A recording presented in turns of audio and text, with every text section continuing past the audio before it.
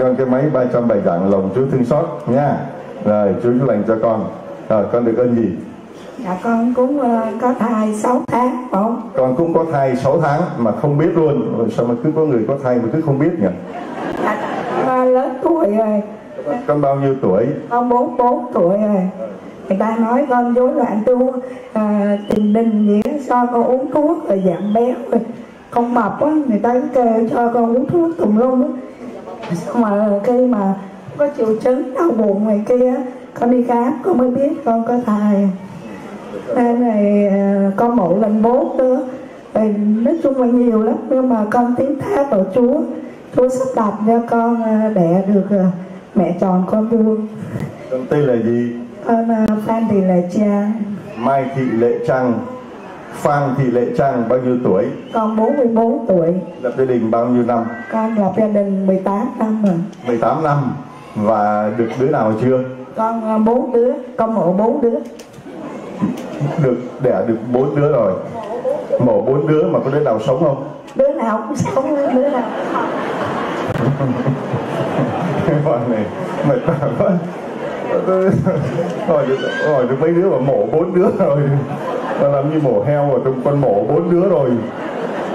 Không phải là bà mổ bốn đứa mà bà sinh mổ bốn đứa con của bà lần trước đều là sinh mổ.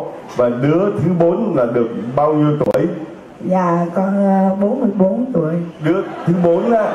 Đứa thứ bốn đây là đây là ai? Dạ con là chồng của con chồng của bà ấy. Rồi đây là chồng của bà. Đây đây Rồi cái nãy giờ ông đứng ông im lặng quá mà ông không chịu đính chính cho bà.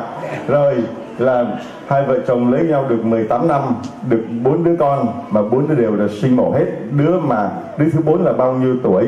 Đứa thứ tư thì là 6 tháng ra đứa đứa thứ bốn là không chịu đứa thứ tư mới chịu. Đây con đây con là đứa thứ mấy thứ ba. Còn đây là đứa thứ ba còn một đứa thứ tư. Lúc mà cái đứa à đây này à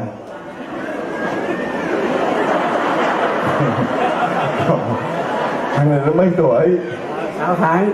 Không thằng này mẹ sao cứ 6 tháng? Thì là 6 tuổi ra rồi là đứa thứ ba là được 6 tuổi thì chị ấy 44 th- tuổi chị lại mang thai đứa thứ tư đúng không?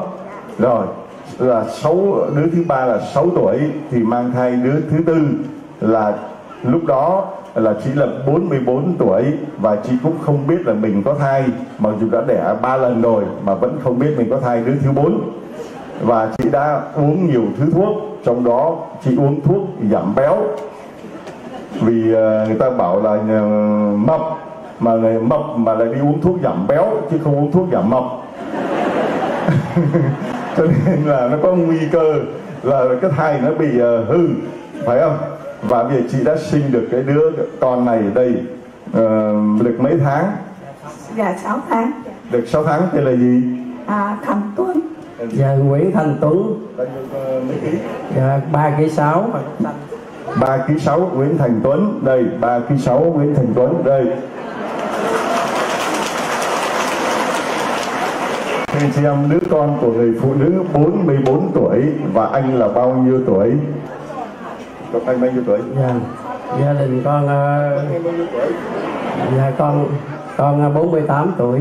Vâng anh à, 48 chị 44 rồi hôm nay anh chị ở đâu? Dạ, gia đình con ở Cần Thơ. Ờ, hai vợ chồng con thì ờ, sanh ờ, đứa con đứa nào cũng mổ hết. Mà hai đứa sau này là đứa này á, thì ờ, là vì 7 tháng là bị cái dây rốn quấn vô cổ. Đứa thứ ba là cái thằng này đây. Nó lúc mà nó 7 tháng thì dây rốn quấn vào cái cổ nó rồi. Rồi mới đi ờ, ngày cái ngày 1 tháng 4 2012 là cái ngày bão ở Vũng Tàu bão tại lúc đó gia đình con ở Vũng Tàu.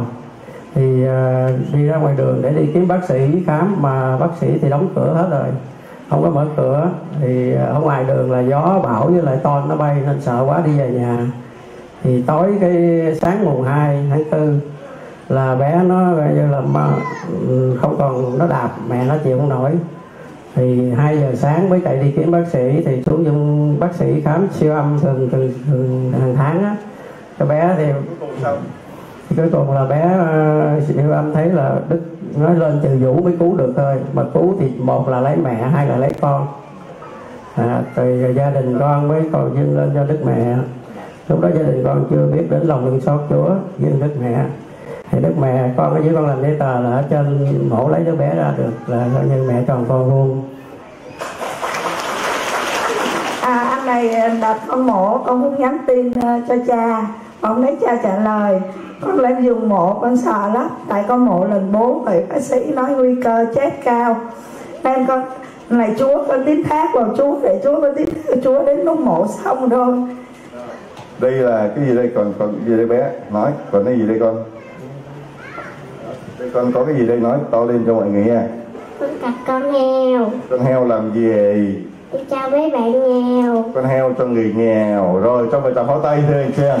Rồi cho để con heo kia à, các bạn nghèo sắp sửa tết trung thu để đó để đi chân chúa đó. Vâng sắp tết trung thu chúng tôi đang có chương trình là 30.000 bánh trung thu cho các bạn nghèo. Và có nhân Thu như đã đóng góp con heo cho bạn nghèo. Ta tặng cho con cái máy 307 dạng lòng Chúa thương xót nha. Rồi đây là cái quạt nhờ mẹ đến với Chúa. Hôm nay lễ Đức Mẹ sổ bi. Rồi mấy mốt con có đi tu không? Cá rồi cho vậy thằng có thầy chúng ta sắp có một linh mục rồi. Đây là cuốn tâm thư lòng nhân hậu của cha. Rồi chúng lành cho con. Rồi hai bé đây. Là. Rồi, hai bé đây con gì đây?